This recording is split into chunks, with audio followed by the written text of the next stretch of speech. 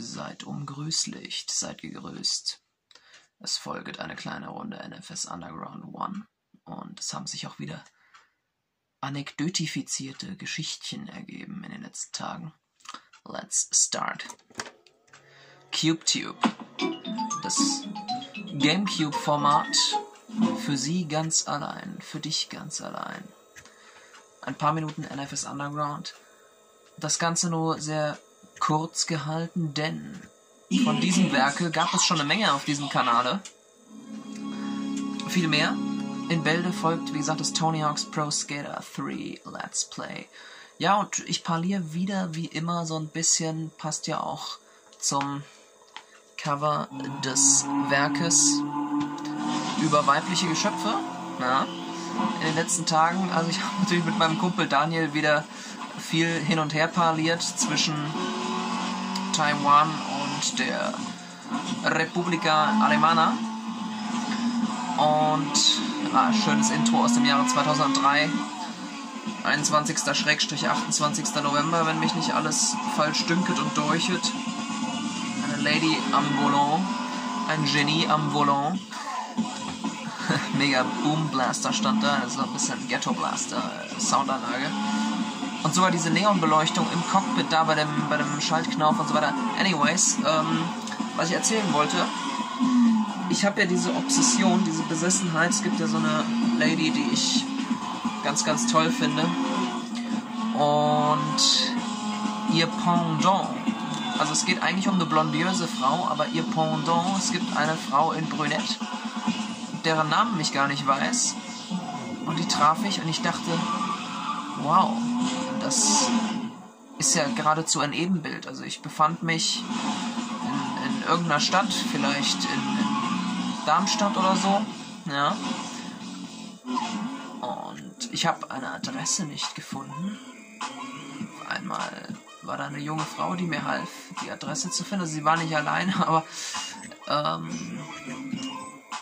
ich dachte, wow, das ist genau die Frau, die du liebst, die du aus deiner Heimatstadt kennst hier, aber in Brünett. Und ich habe sie sogar noch gefragt, kennst du in einer bestimmten Stadt so eine junge Dame, die mich leider hasst, aber anyways, ey, guck mal, wie, das muss ich euch auch noch zeigen, ne? In diesem Profile hier heiße ich Eddie Singer One. Wer ist Eddie Singer? Steph interessiert's dich, Daniel interessiert's dich, Hank interessiert's dich, Roburak dich interessiert alles. Also, das basiert gröblich auf der ehemaligen Teenie-TV-Serie Unfabulous mit Emma Roberts. Die habe ich geliebt als Kind und benannte mich so. Danach. Anyways, ähm, jedenfalls, sie führte mich zu der eigentlichen Adresse hin und, und hat ein bisschen auch an meinem Lächeln und so weiter gesehen, okay, es scheint ihm wichtig zu sein, dass er nicht zu spät kommt zu seinem Termin, sondern eine Adresse findet und half mir ein bisschen, ja, stand mir zur Seite und es war eine Odyssee. Wir haben Google Maps bemüht und haben geguckt, wo könnte hier die Umgebungsörtlichkeit ihre Stattfindungsmechanismen freisetzen. Ja, und irgendwann fanden wir die entsprechende Gegend und ich bin ja in den Orientierungsfragen immer ein bisschen verwirrt. Also wenn ich eine Straße finden muss, es war auch so süß. Diese junge Frau hat dann gesagt, ähm, sie, sie kennt in ihrer eigenen Straße, wo sie wohnt, nicht die Straßennamen oder irgend sowas hat sie gesagt. Und ich, ich war sofort verliebt in ihre selbsternannte Orientierungslosigkeit oder so, weil so, so nett und angenehm in der Kommunikation. Naja, auf jeden Fall konnte ich dann eine andere Person aufsuchen, so ein bisschen die Fragen des Lebens beleuchten und betrachten und am selbigen Abend noch einem Kumpel von mir erläutert, was Phase ist. Und auch einem Kumpel erzählt, wer die Person ist, die ich seit 2019 liebe tatsächlich Und wenn ich sage Liebe, dann läge die Betonung auf Lie und auf B. Denn es geht um Liebe. Go Underground, die Frage stellt sich nicht mehr. Glückwunsch, du hast den Underground-Modus erfolgreich gemeistert. Du vermochtest zu reüssieren, Daniel. Ab jetzt sind alle Upgrades, Strecken und Wagen auch im Quick Race Mode freigeschaltet. Um den Underground-Modus neu zu starten, musst du ein weiteres Profil erstellen. Aber das tun wir nicht. Wir sind Eddie Singer One und die gibt es deswegen auch nur, ähm, ja, im wahrsten Sinne des Wortes One mal. Ah, diesen komischen RX7 haben wir ja. Ich habe noch eine andere Memory Card, da heiße ich anders. Machen wir kurz im Quick Race eine kleine Fahrt.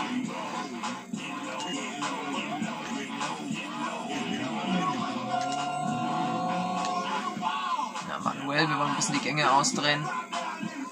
Zeige ich euch, wie ich den Wagen getuned habe. Eigentlich Supra finde ich empfehlenswert an dem Werk oder Nissan 240 SX.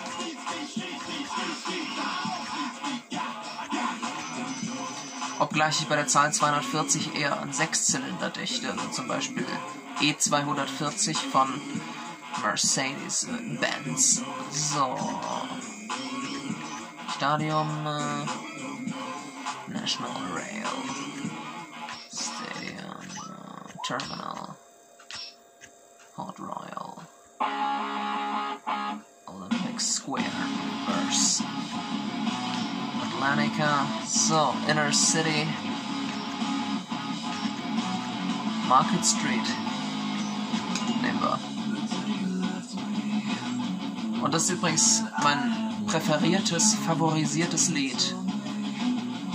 Broken Promises. My heart can't take no more. My mind has had enough. Maximaler Verkehr. Stärkere Gegner schwer. So, wir werden oft Stürze hinlegen, weil ich habe es jetzt so schwer wie möglich eingestellt. Wir haben den Underground-Modus jetzt nicht angeschnitten, sondern fahren einfach nur so ein bisschen durch die Botanik. Ja, und, und diese Frau, die geht mir nicht aus dem Kopf, weil ich habe ihren Namen nicht, weil sie war ja nicht allein, wir haben mir ja zusammengeholfen, den Wegpfad des Lebens zu finden in einer Stadt, der ich mich nicht auskenne, in einer Umgebung, mit der ich nicht vertraut bin und aber wirklich Körpergröße, Gesicht, alles eins zu eins die Person, die ich liebe und hier nicht nennen darf. Anfangsbuchstabentechnisch, nicht? Äh, gut. Naja, okay, ein kleines Ründchen. Drivieren wir.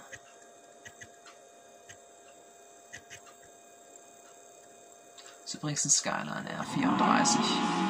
Schaut euch diese Beleuchtungseffekte an. Also nicht nur diese, diese überragenden, erhabenen Ladies, sondern die ganze Art, wie mit Farben gearbeitet wird in dem Werk.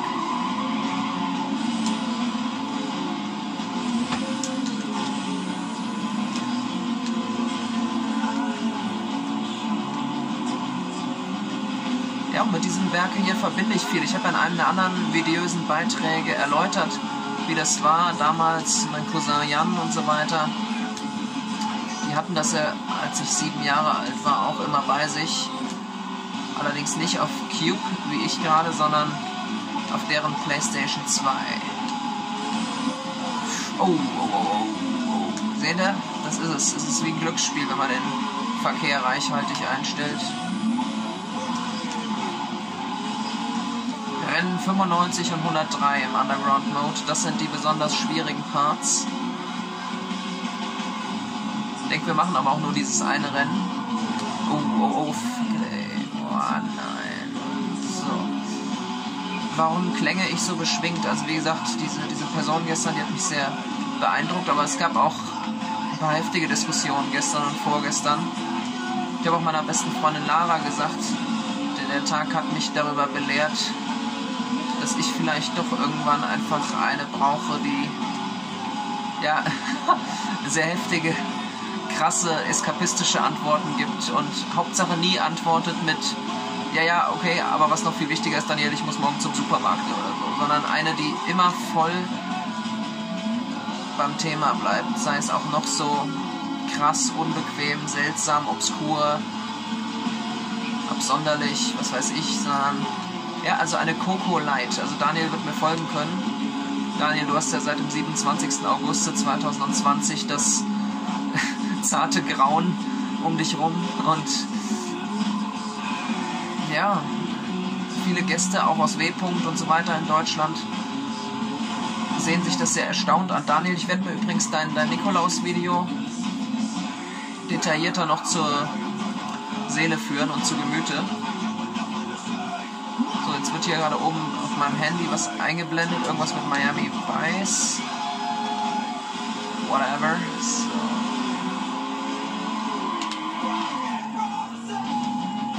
Ach so, jetzt sind es nur noch drei, also zwei Gegner.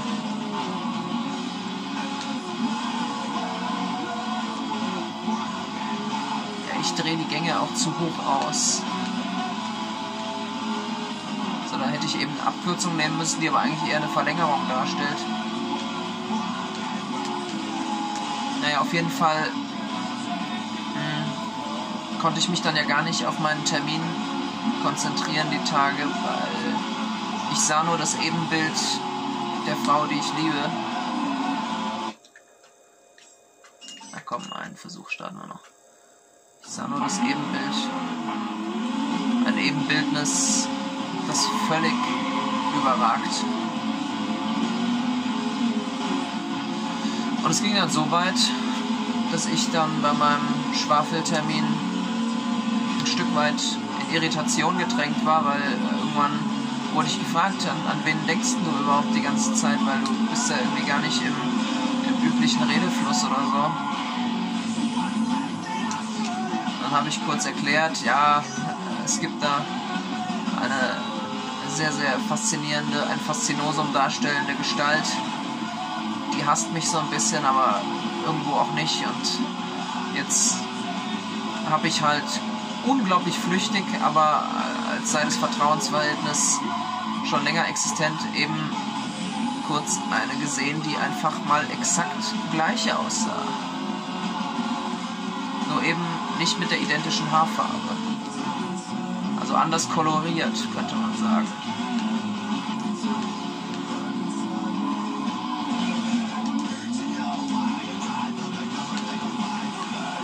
Ja, dann habe ich meine Herz allerliebsten da zum dritten Mal, also 37 Minuten hören wir an meinem Geburtstag, aber ähm, noch eine Voice Message, 22 Minuten 22 drauf parliert. Das ist ja immer ein schlechtes Zeichen. 22 Minuten 22 ist bei mir immer ein sehr schlechtes Zeichen. Da ist was im Argen, da ist was im Busch, aber ich flog schon wieder aus. Der dritte und letzte Versuch.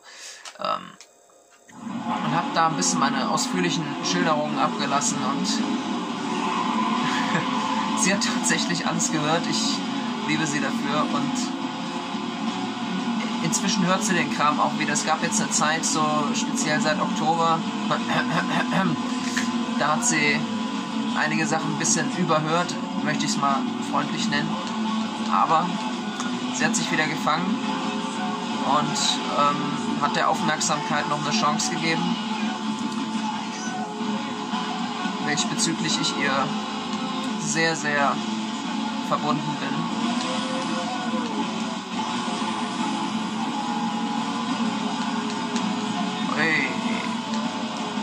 Zieht aber vorwärts. Scheinen die 800 Newtonmeter ja in die Wiege gelegt zu sein.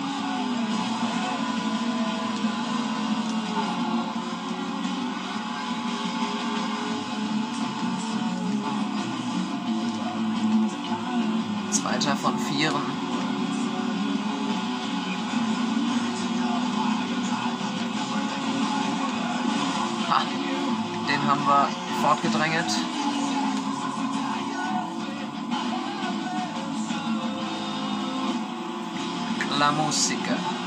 Ich habe es tatsächlich so eingestellt, dass hauptsächlich nur Broken Promises zu erhören sind. Ey, komm. So, das waren jetzt knapp 10.000 Umdrehungen. Ey, ist ja höher als ein Jaguar XJS aus dem Rennsport. Oder ein Mazda RX-8 mit Wankelmotor. das ist ja auch der Vorgänger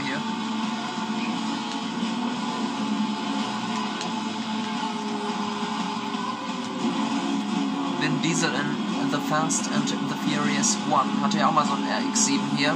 Was hat der neue gekostet in Deutschland? 80, 90.000 Mark. Also war eigentlich schon ein ziemlich edles Gefährt. Inflationsbereinigt ist es ja noch mehr. Und das sind ja meistens genau die Kisten, die dann gebraucht nicht viel kosten und wahnsinnig viel an Wert verlieren. Oh, oh, oh, oh. Ja, damit ist mein Schicksal besiegelt. I've lost my destiny.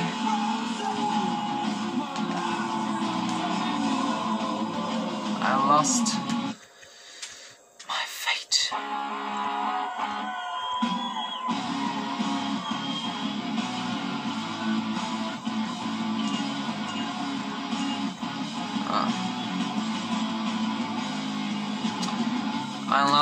my self-confidence, don't you think? Ach Mensch. Ist das tragisch, ey. Ich kenne eine, die das Wort tragisch noch nie benutzt. Geschweige denn gehört. Seht ihr hier die Pia? Ja, ich zeig mal hin mit der Hülle. Da. Auf der Eckscheibe. Tja. Mach das zweite A weg, dann hast du einen sehr süßen Mädchennamen. Und ich kannte auch mal eine, die so hieß. Mit diesem melancholischen Schlusswörtchen ist dieser winzige Part vollendet. Bleibt euren Buchstaben treu. Wenn ihr irgendeine Person kennenlernt, die mit K oder mit L anfängt, lasst sie nie wieder los und umarmt sie für immer mit dem Abrazo der Ewigkeit. Das wollte ich nur losgeworden sein. In diesem Sinne. Ach komm, das Liedchen noch fertig und dann ist auch gut.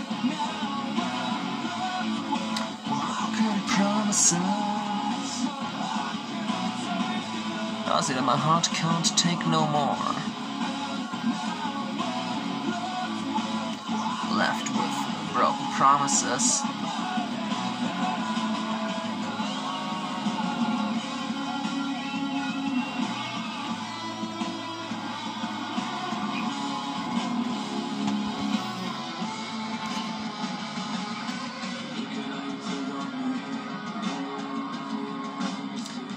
Gleich kommt ein Brüller im fürwehrlichsten Sinne des Wortes. Und an diesem Herauskreischen merkt man einfach, dass es um Gefühle geht.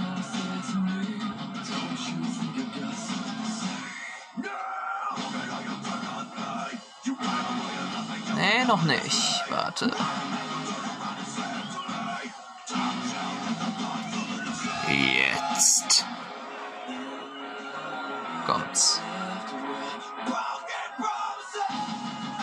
Ihr, wie er es rauskreischt? Also es muss um eine sehr wichtige Frau gehen, stimmt's? Ist ja fast so schlimm wie bei mir. Fast so schlimm wie bei dir, ja. Bei mir. Und ich habe der S-Punkt einmal gesagt, am 27. August, die Frau, um die es eigentlich geht, ist so eine richtige Traumfee. Und sie sagte, aha. Und ich habe das dann erläutert, was die von mir denkt. Dann meinte sie, ja, aber, aber, aber, aber, aber, das ist doch dann für dich blöd. Na, ja, es ist für mich saublöd, aber es ist auch eine Form von Attention, Aufmerksamkeit. Brauchen wir die nicht alle ab und zu? Ich danke euch.